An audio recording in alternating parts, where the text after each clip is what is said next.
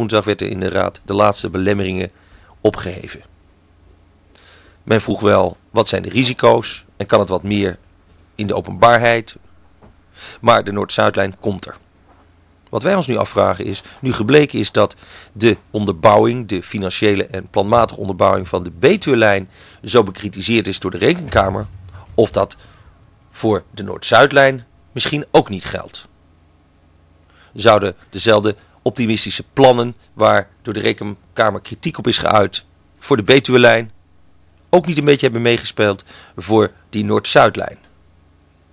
We gaan even praten met wethouder Keuler over de Noord-Zuidlijn, die er dus echt gaat komen en waarvoor Amsterdam het risico draagt.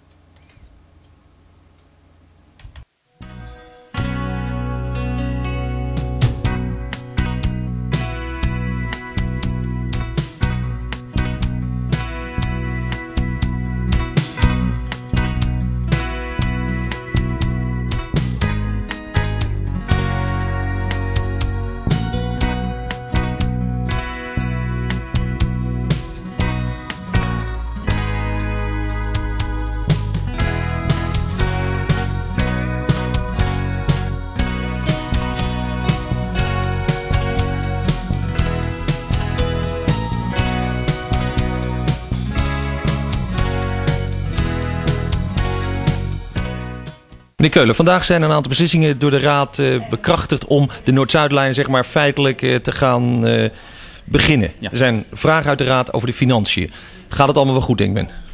Nou ja, men denkt van wel, althans. De... U heeft steun gekregen, maar er zijn ja. vanuit kleinere fracties nogal wat kritiek op de risico's die de gemeente zou lopen. Nou, er zijn twee fracties, Amsterdam Anders de Groenen en de Socialistische Partij. Die zijn gewoon tegen en die zeggen nu ook weer risico's en zo. Maar dat is niet zo wezenlijk. Die vinden dat geen verantwoord project. En dat vonden ze altijd al niet. En uh, schijnt nou ook tegen te zijn. Hoewel ik denk, nou, dat is toch heel goed voor de mobiliteit, zo'n Noord-Zuidlijn. Maar zij zijn daar tegen. Maar alle andere grote partijen uh, en alle andere kleine partijen in de gemeenteraad, die zijn daarvoor. En die vinden het dus ook financieel verantwoord. Nu is de fase van praten en plannen maken voorbij. Nu gaan er werkelijk uh, dingen gebeuren. Waar gaan de mensen het eerst merken dat die Noord-Zuidlijn er komt? Waar moeten ze zeg maar, oppassen voor droge voeten, natte voeten, gaten in de vloer? Nou, bij de, de stations in de, in de binnenstad, uh, daar worden de, op de Rokin en bij de Vijzelgracht, uh, daar beginnen we, ik geloof, maar dan praat ik even uit mijn hoofd, al eind dit jaar met kabels en leidingen om te leggen. Dan, wordt het tramtracé omgelegd, omdat daarna wel op diezelfde plek blijft dat hoor, maar er wordt opzij gelegd omdat daarna de bouwput gegraven moet worden. Nou, dan praten we al over 2001, voordat die eerste grote bouwputten voor de grote stations er komen. Okay. En wanneer kunnen we uiteindelijk in die Noord-Zuidlijn gaan zitten? Volgens de huidige planning moet het in de loop van 2008 uh, af zijn. En nou ja, dan moet je even proefrijden en dan komt hij in exploitatie. Dus zeg uh, tweede helft van 2008. U houdt op een bepaalde manier van gokken, want er zit een zeker risico van de gemeente in. Een andere gok die u deze zomer gemaakt heeft, is de afsluiting van de eitunnel in een toch wel moeilijke periode. Na een paar dagen totale ellende valt het geloof ik mee, of niet? Heeft u daar bericht over? Ja, bij, ja, bij die eitunnel. Uh, in het begin moeten mensen natuurlijk hun weg zoeken. Dan kan je wel heel hard adverteren van dat is tijdelijk afgesloten. Maar een heleboel proberen het toch. En dan zoekt men een andere weg en dat lukt. We hebben wat extra problemen gehad. Omdat we ook bij de Piet Hein-tunnel werkzaamheden kwamen. Nou, dat was te veel van het goede samen. Dus die hebben we gezegd alleen maar uh, op stille uren en niet meer op de drukke uren. Want dat kan niet tegelijk. Maar met de werkzaamheden in de eitunnel zelf loopt het prima. En volgens mij heeft het verkeer daar ook buitenom inmiddels zijn weg wel gevonden. Het is natuurlijk omrijden, want ja, hij moet opgeknapt een aantal weken. Eens in de 30 jaar doen we dat. Toch werd er hard geroepen om meer coördinatie. Niet alleen die Piet Hein-tunnel, maar ook aan de andere kant van het station waren dingen. Daar is iemand voor aangenomen om dat een beetje te gaan regelen. Uh, helpt dat?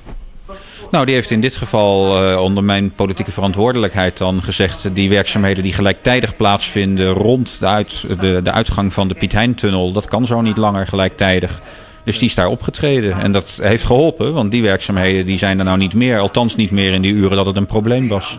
Een ander punt wat mij opviel was dat de, zeg maar de timing van de verschillende stoplichten in de stad niet was aangepast uh, aan de veranderde verkeerssituatie. Is dat uw verantwoordelijkheid of is dat... Uh... Nou, uiteindelijk zal iemand verantwoordelijk zijn. Dus dat zal ik dan wel zijn. Uh, ik weet het echt niet of men de stoplichten... Nou, bijvoorbeeld op het Visserplein, waar dus in een bepaalde richting niemand meer kwam... Stond dat licht nog steeds de ruime tijd op groen... terwijl de andere lichten op rood staan. Daar had je dus wat aan kunnen doen. Ja, andersom. Je had kunnen zeggen van bepaalde richting komt er nu niemand. Maar ja, dat is toch link, want het is natuurlijk niet niemand. Dat is de kant van de Valkenburgerstraat. Nou, je zou dat kunnen aanpassen. Er stonden toen grote, uh, voor de Albert Heijn daar bij de Jodenbreestand stonden lange files. Ja. Tot aan de Nieuwmarkt, omdat dat dus gewoon eigenlijk uh, technisch had opgelost had kunnen worden. Ja, wij hadden dus uh, op bepaalde routes nog minder lang groen kunnen geven om andere mensen langer groen te geven. Nou, zover zijn we kennelijk niet gegaan met die maatregelen. Maar ik moet er ook bij zeggen, die krijg ik niet op mijn bureau langs hoor. Dat wordt gewoon uitgevoerd door de uitvoerende diensten. Ja. We krijgen uh, Sale Amsterdam. En dat wordt heel groot. En dat gebeurt eigenlijk voor het publiek dan aan twee kanten van het ei. Gaat u mensen door de tunnel laten lopen in die periode? Nou, dat lijkt me link. Want dan moet de tunnel alweer open zijn. Dat is de planning. Eh, die moet open zijn voordat we de salebezoekers krijgen. En als die dan weer open is, dan rijden de auto's. Dan, zou dan kan het dus niet? Maar... Nee, dan zou ik mensen niet aanraden.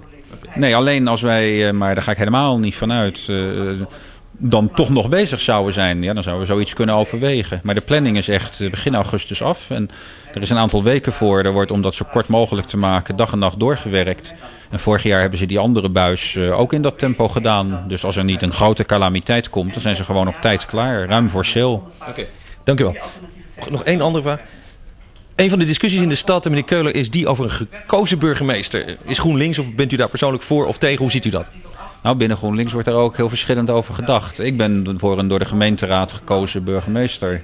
Maar apart de burgemeester kiezen naast de gemeenteraad... met een soort mannetjesmakerij of vrouwtjesmakerij... terwijl die burgemeester toch maar een geringe bevoegdheid heeft ten opzichte van de gemeenteraad. Dus de huidige burgemeester, als je die apart laat kiezen, ik, eh, ik geloof daar niet in. Volgens mij wordt de mensen dan een rad voor ogen gedraaid. Van de A. Gekozen burgemeester is een eh, punt wat al een tijdje in de landelijke politiek speelt.